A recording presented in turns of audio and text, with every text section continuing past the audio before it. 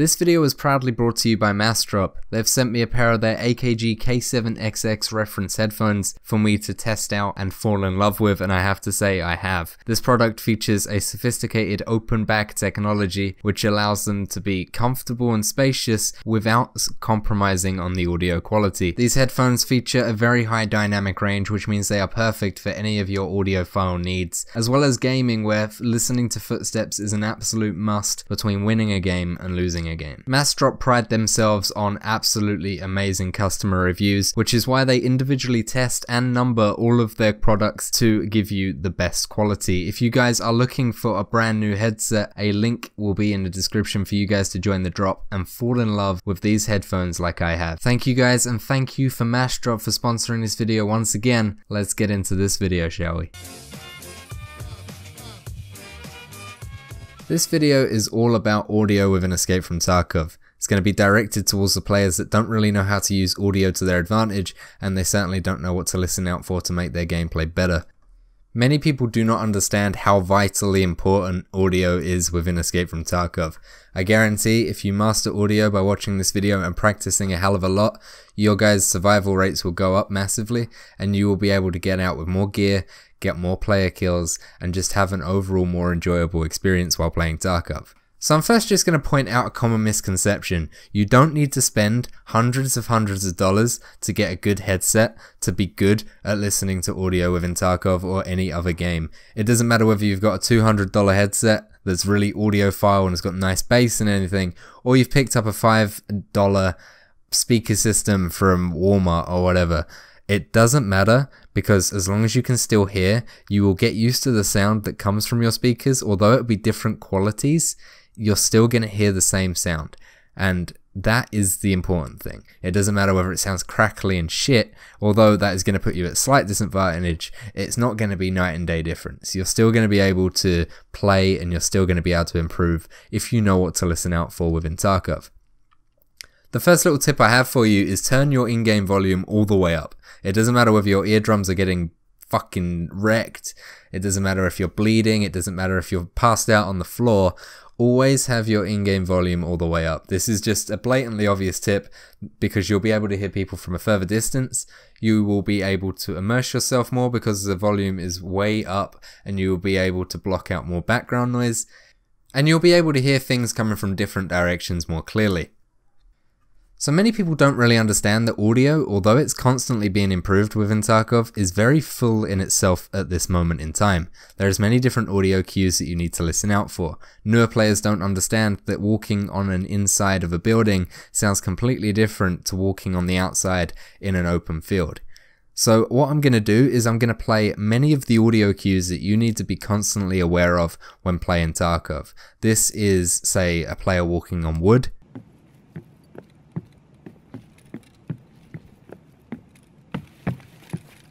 This is a player walking over concrete floors or stone. This is a player walking through an open field in the dirt. This is a player hitting a bush or walking through a shrub. This is a person walking over broken glass that is on the floor.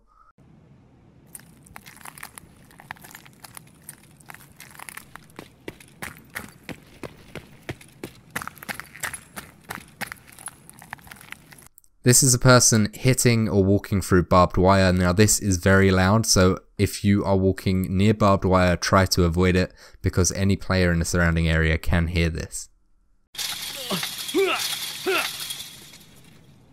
And the more obvious one is either scav voices or player voices. You can hear this from a mile off whether players are using voice cues or scavs are talking to each other in the distance. You need to be aware of this because you'll be able to identify in what direction they're coming from. Next up is metal. This could be if someone's walking on metal railings or if someone's jumping on a car for example. This is what this will sound like.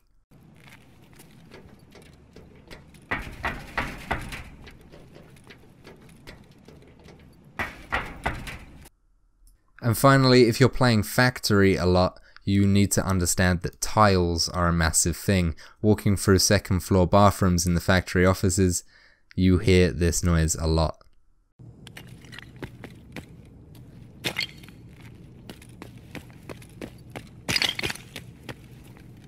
Now, combining your knowledge of these audio cues with good map knowledge, which you can get over time by just playing the same map over and over again, or watching other people play on Twitch or YouTube or something, and get an idea of where people go and what people do on the maps. Getting your map knowledge up over time, combined with this audio, is going to make you a very good player, and many players will be hard to counter you because of the fact that you'll be able to hear people sneaking up on you in different directions.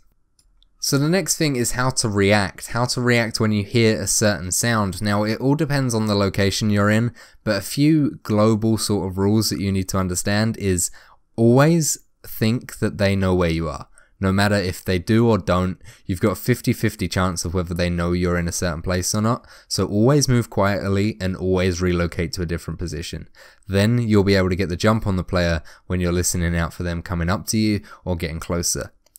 Using sound will be able to tell the direction of the player, especially if you're using headphones, which the 99% of you are going to be using. So you'll be able to tell whether they are to the left, to the right of you, whether they're above you or below you. You'll be able to tell. So if you've relocated, you will still know where they are based on audio if they are not moving quietly. If they are, then you need to be very careful. Try not to move yourself and listen out. This is why turning your audio all the way up will give you an advantage because you will still be able to hear people slow walking, but just not as much. I'm now going to be breaking down a few quick clips of playtime over the past few days and showing you how audio has helped me get kills and get the jump on players within live raids of Escape from Tarkov.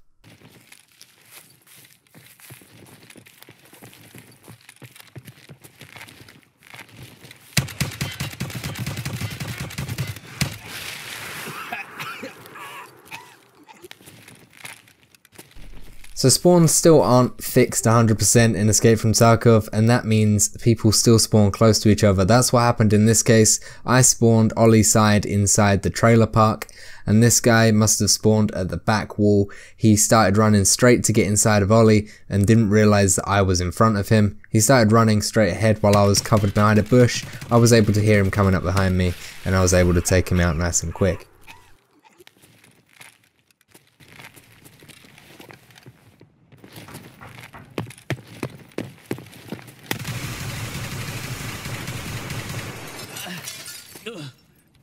As I said earlier, metal is very loud. Here I was using it to my advantage. I was looking for scavs down OLI, and I heard him coming up the front of OLI in the metal staircase.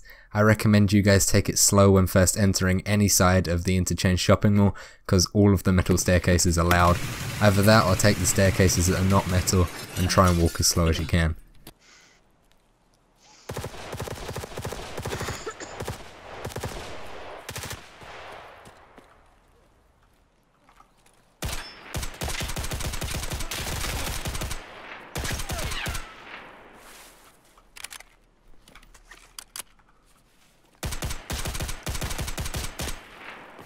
Good night. Gunshots are the easiest telltale sign to tell where somebody is because they are so loud and they echo across the map, but it's a lot easier when they are right next to you. So what I did here was I heard it coming from the gate of Big Red. I did check behind me just to make sure he wasn't shooting at anyone down towards the Crossroads extract and then finally I did my duty and shot him with really bad aim with a FAL and then eventually killing him when he laid down rather than pushing me while I was reloading.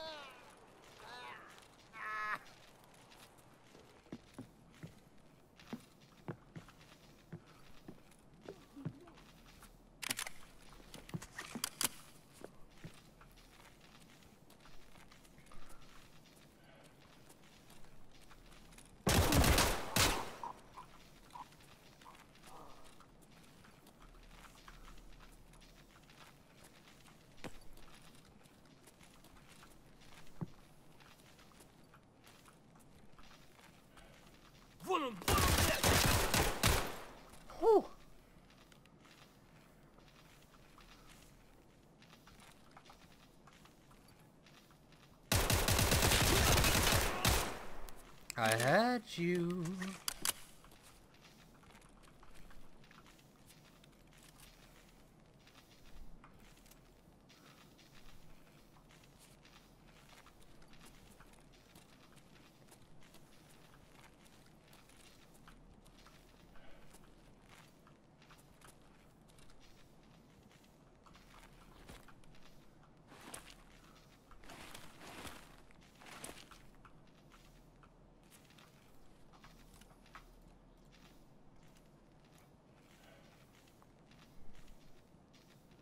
So at first I knew the scavs were coming in to three story dorms because I heard them walking around on the wood. I also heard the first scav come out of the front door and after killing him I moved up to the second floor. I got jump scared by Reshala but other than that I heard some more metal stairs moving and this is once again using metal to my advantage. I was able to identify it coming from my left ear so I knew that he was coming up to second floor. I peeked the door, and as soon as I heard the door open, it was my turn to pounce, and he didn't have a chance to react. So to conclude, audio is used in many different ways, but using the audio cues within Tarkov along with your map knowledge, you will become an absolute deadly weapon.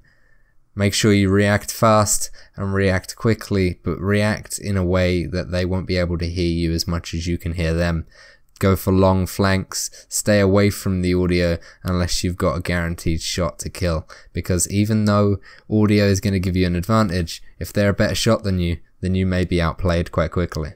Anyway guys, if you did enjoy this video, a like is always appreciated. Let me know down below in the comments if you want to take my children. You can, you can have them all. They're all on sale on eBay. Anyway, I love you all guys. I'll see you very, very soon. You're my best friends, you know that? You should do. I'm gonna gonna gonna see you see you in my bedroom later, ain't I? Yeah? Yeah I am. It's gonna be fun. I'm gonna be nude and waiting for some dicking.